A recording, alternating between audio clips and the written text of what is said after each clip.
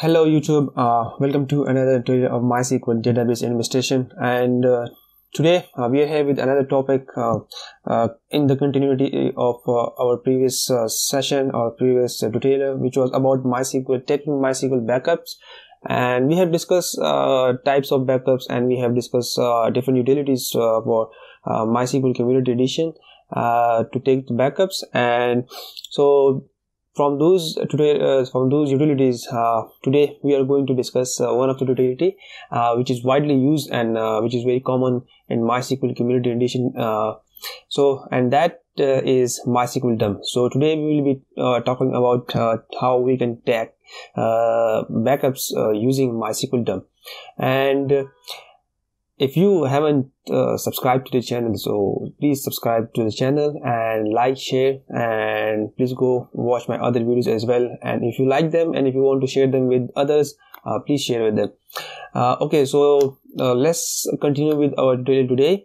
And obviously uh, starting from utility uh, so this obviously every utility you are going to work with it has some syntax and it has some options to use and uh, some utilities come with the MySQL installation by default and some you have to install them or some of them are plugins and some of them some of the utilities are like some softwares are provided by third party uh, organization uh, just like we have a third party uh, backup solution from Percona which is XtraBackup.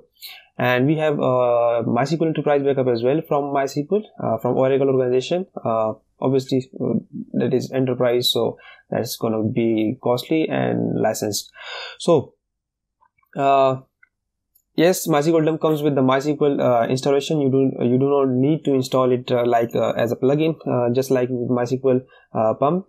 And so the syntax is simple start with the MySQL. Uh, that's uh, binary execution. And then we have some certain options. And uh, in the option uh, you can specify uh, the name username password and host name to connect with the database obviously and from just like we connect with MySQL command prompt then we provide the minus u for the username and minus p for the password. And then next if you want to connect with the host or connect with the uh, socket uh, and just connect directly as well. So that's up to you how you want to uh, you, which protocol you want to use to connect with mysql. Okay. So obviously the very first start uh, you come uh, to take the backup. Uh, that's you need the full backup. And uh, obviously this is a logical backup. This is not a physical backup. And this is a slow one and this should be online. And uh, if you want to take a backup of uh, all databases from MySQL then all you need is to use MySQL dump. And then if your password are stored inside your configuration file then it will take it from the configuration file. In my case i have stored in uh, in that. And so that's how you can do it. So mysql dump uh, then dash dash all databases and then mysql dump. And the all obviously takes the backup of all the databases.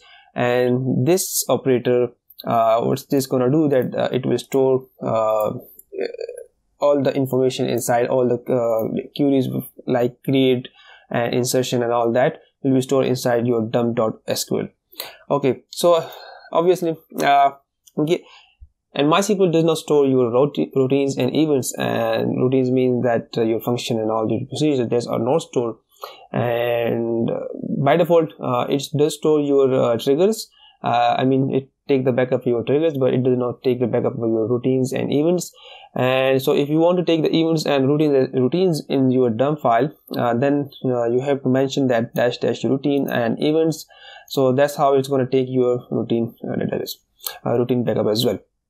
Okay so next we have is uh, for the point in time recovery obviously you need a consistent backup.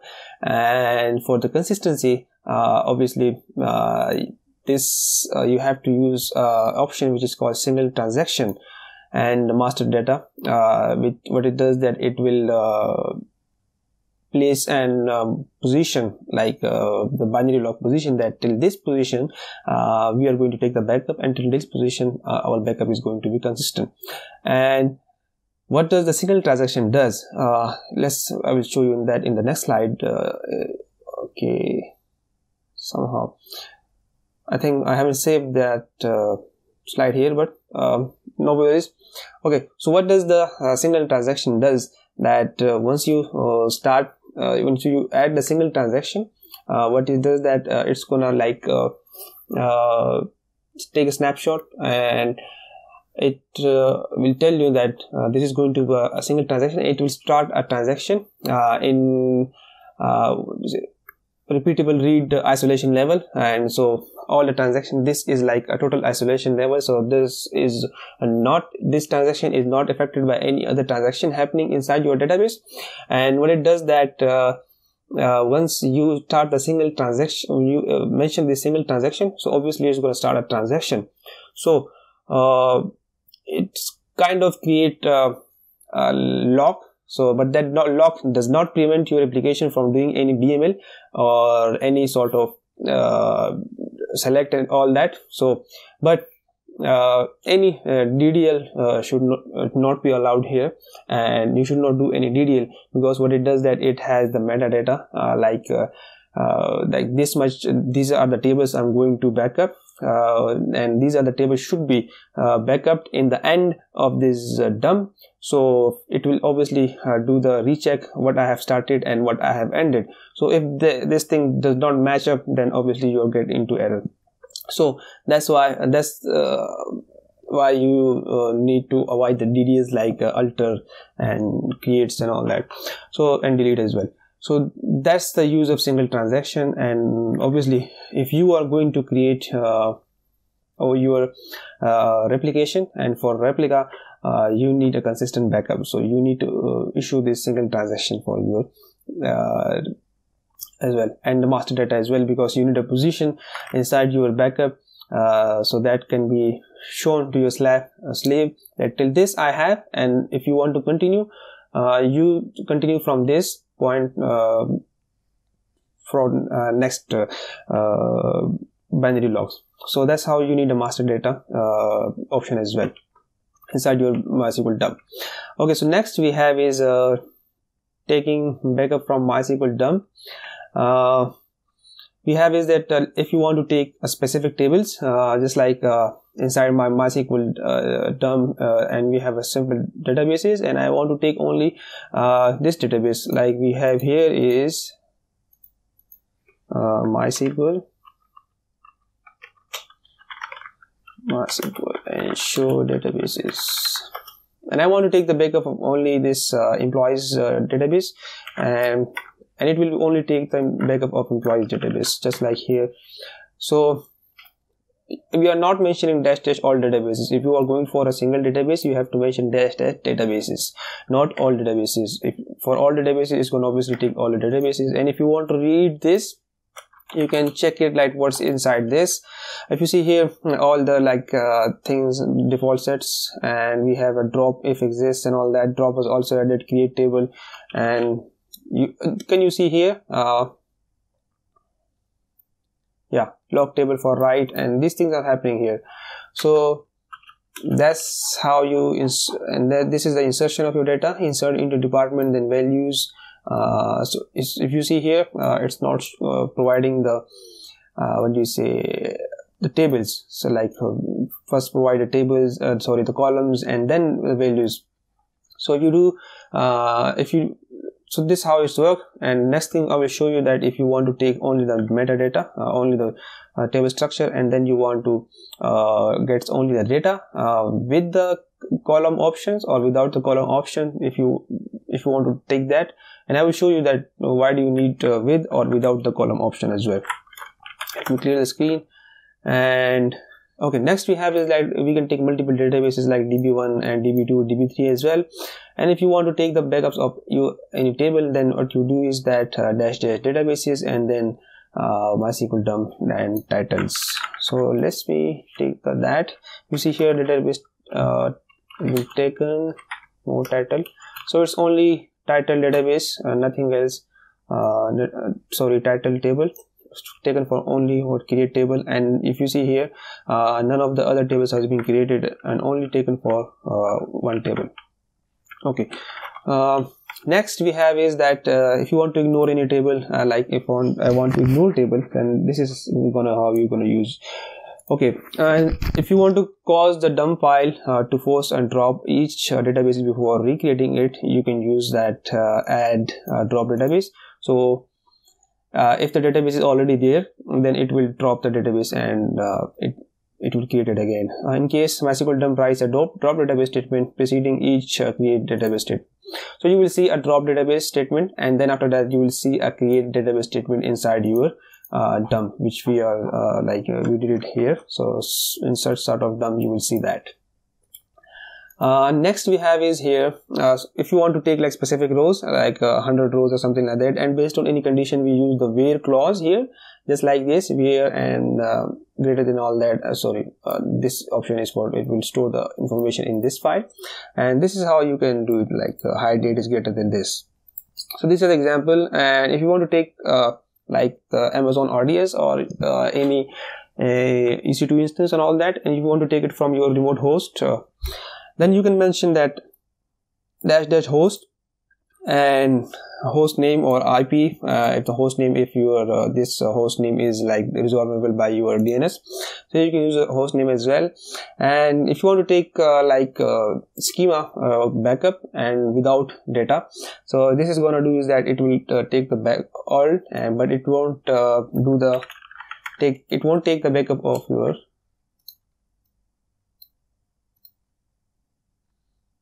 okay.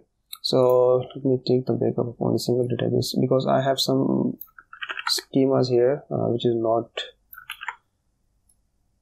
supportable by MySQL dump. So if you see here uh, more schema.sql so it's only take the backup of create uh, drop and table create tables and it does not take the data okay? So this is only the information about your uh, metadata. And then if you want to take uh, the backup of your uh, uh, what do you say no create uh, db and no create info. So it won't uh, create any db or not uh, tables. It will only take the backup of your uh, data. So i will show you what's the difference here.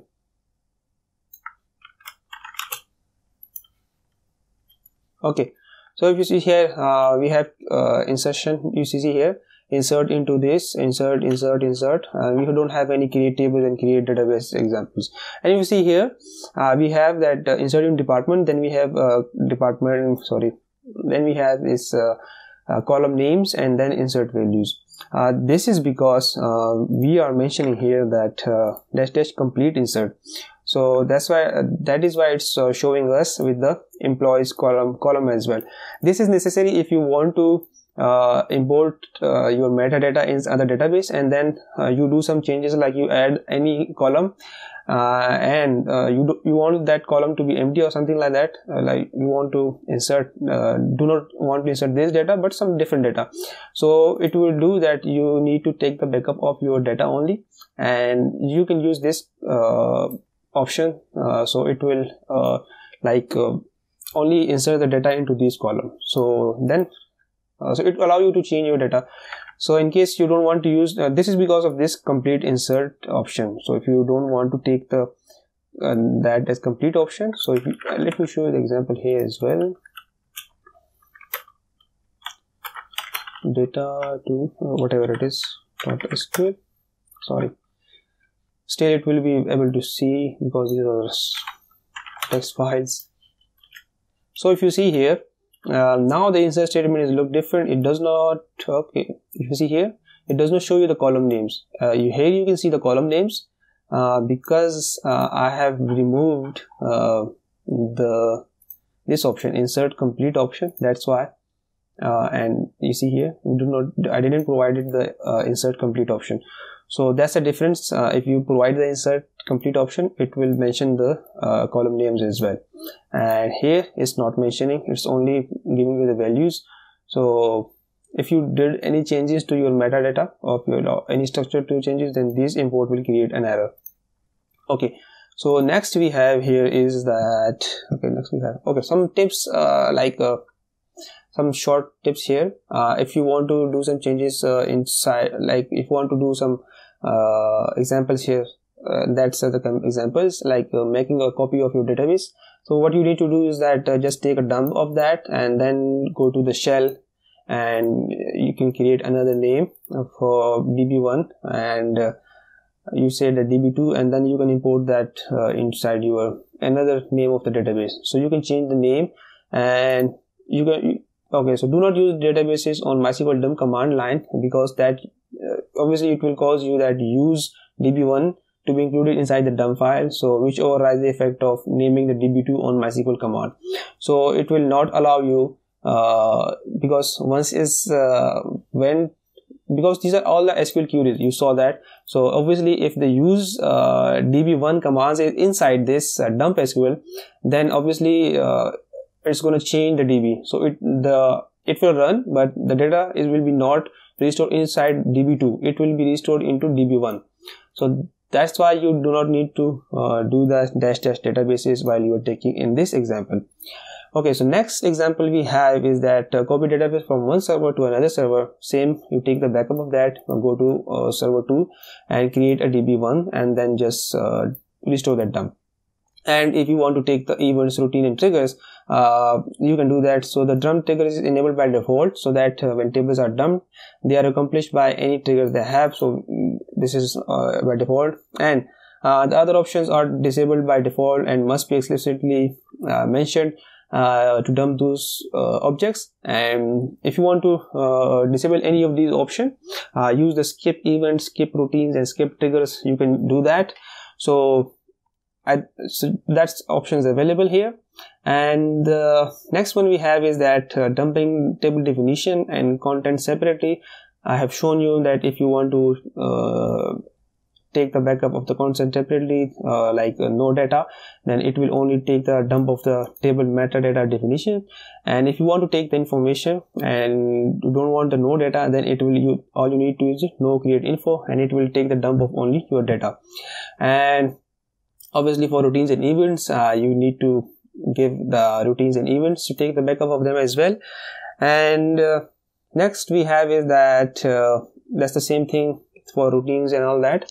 And let's uh, if you want to take it for the upgrade what you want to do is that obviously uh, just like if you talk about mysql 8 then uh, we have some changes inside your collation and uh, character sets. So if you take the backup of your only uh, the table definitions uh, then what you can do is import that into your MySQL 8 and check if the default uh, character set and default uh, collation is supported by you mm, by the database or or not. So like your definitions and the default character set value is uh, both of them are compatible or not. So this is uh, help you like in downgrading or upgrading uh, so that's how you can do it. And okay for upgrade this is an example. You can do in all databases no create information. And what you do that once you create all your uh, database uh, tables inside your uh, for upgrade database and then what you can do is create the dump of only the data uh, and then import uh, this data. So all your information will be stored inside your table. So obviously this is not going to have the create statement and so your structure will be a the table structure and schema structure will be compatible your uh, upgraded version of like mysql 8 uh, database and then you can insert all this information. We will be covering the upgrade uh, in the future so stay tuned for that. And that's it for the mysql uh, backups. There are the some uh, scenario we have discussed uh, taking backup uh, from mysql dump. And if i have missed anything and if you want to um, know anything more idea about uh, any more ways of uh, taking backup using MySQL dump, please comment below and let me know and I will answer your question and please like, share and subscribe. Thank you.